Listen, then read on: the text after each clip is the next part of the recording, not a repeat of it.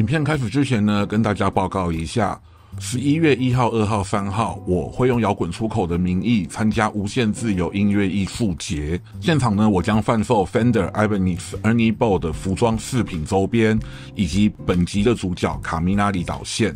如果你看完本集影片之后，想要购买一条有 Silent Plug 的卡米纳里导线，我们可以现场讨论。那当然，我也欢迎你们直接跟我订购。好啦，废话不多说，影片开始。哦，不对。Let's move on.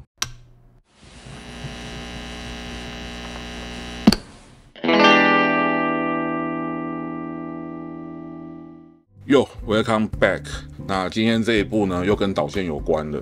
其实我的频道做导线相关的点阅都蛮低的，这个我可以理解。毕竟会来看我影片的，可能都是一些吉他玩家。那大家的取向还是于购买品牌导线，或者是找会做的店家或朋友，然后来刻字化。那如果本来就会做的，更没有必要去看我那些影片啦。那我当时也是想说试试看好了，就是以乐器的角度。所以我记得我那一部是在拍 New Trick 头的焊法跟 Spare Plug 的焊法。今天这部影片就分成了两趴，第一趴我要来介绍一下神明导线，就是卡米纳里。对，神是神明的神，明是神明的明，就是很会叫的线，就是神会叫的线。好，随便可以看到我这一条真的是非常的旧了，这字都脱掉了，因为这个是台湾的第一批。其实照我的尿性是，只要台湾有人可以代理一些新的周边，我都会马上买下来，然后去玩。然后像这一条，当时是我还有写过一篇文，就是把它拆解开来，然后拍一些它的焊接手法的图给大家看。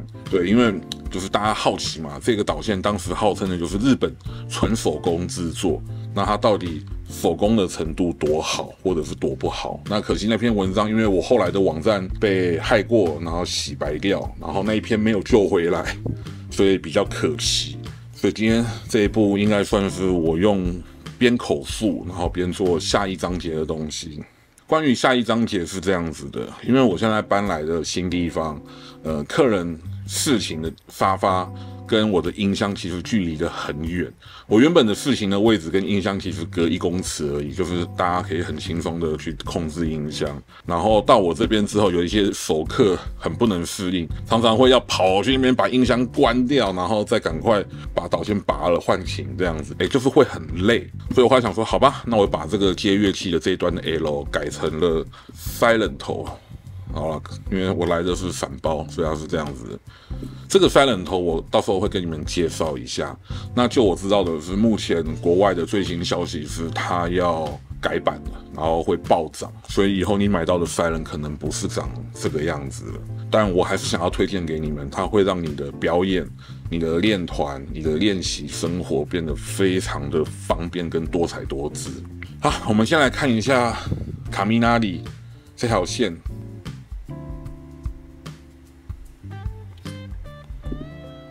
就是 Nutric 的 L。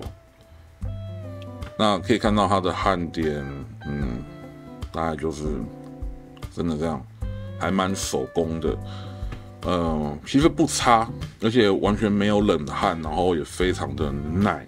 那这个耐其实有几个原因啦。第一个是因为 Nutric 这个头，它在焊接这部分的保护本来就比较好。那第二个原因是我用导线的环境比较正常，比较合理。呃，就是我会维持收线的状态，我也不会让线去被扭来扭去，或者是被呃轮子绞过去这种状况。对我算是比较保护这种东西的，就算我自己会修。我们今天的工作主要是要把这个 L 头。换成 silent 头，好，那我们就开始加工。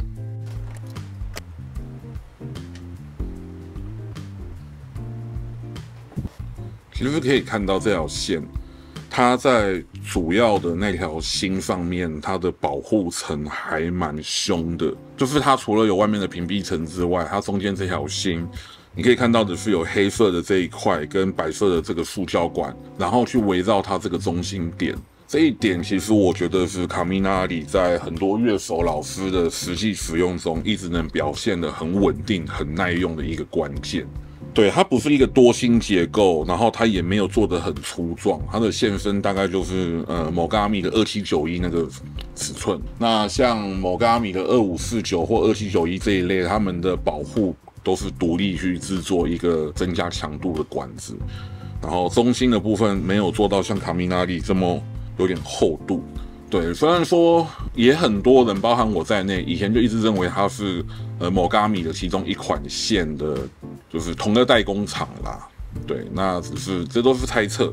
那我只能说，如果你找我定做线，我也会给你某个阿米。可是你真的要叫我推你一条长线，我好像还是会推你卡米纳利。我不会说啊，我做的比较好，因为他们的那种耐用度真的是有口皆碑。虽然我可以很自豪的说，我有客人跟我说：“哎，当然我十年前跟你订的那条线到现在还能用。”可是我会觉得那只是我运气好。那人家一年生产这么多条线，然后稳定度一直在那边，然后不管是欧美、日本还是台湾，其实很多老师都是在推荐的，有他的原因在。好，这一趴我们来介绍一下 Silent 头。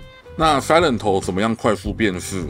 呃，它除了你可以透过这个外壳之外，其实你可以看到这个，它多一个银色的环，这个银色环可以往后退。当你的导线插入到乐器里面，你的 Jack B 会推到这个环，这个环呢，它就会把它们两个分开，就会解锁。也就是说，当你平常在这个状态下面时，它火跟地是连在一起的。它就会没有声音。那当它往后推之后，地是地，火是火，它们变成了一个通路，那它就会有声音。那这个实际的状况怎么样？我们安装完，我会录一段很简单、很简单的测试给你听，就知道了。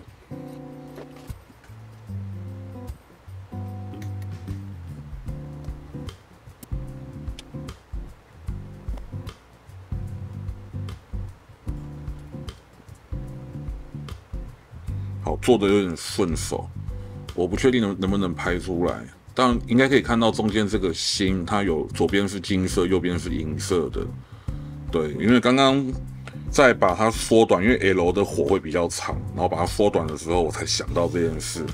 它的主输出线是 OFC 铜加上镀银线，然后混合而成的。我现在这一款是电吉他用的，对，它就是用这种配方。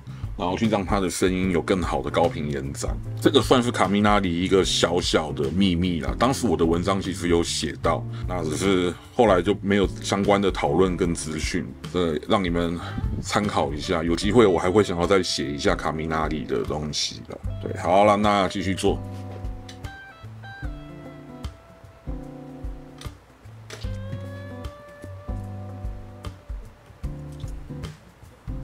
好，那线就这样做完了，呃，还不知道有没有声音呢。现在表现的这么得意，我们来给他一点讯号。我现在把其中一支麦克风放到音箱前面，OK。那我们现在呢，手摸着导线尖端，接着把它。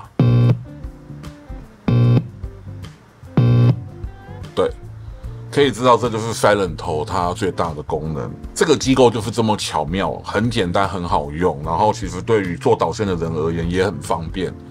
对啊，可惜就是这一款要改了之后会变得超级贵。然后我们找个乐器试试看。好，那我们先模拟一个视频的情景。呃，正常的流程，我们应该要先把导线插到琴上。然后你再去把其他的音箱打开，或者 standby 打开，或者是把导线推到底。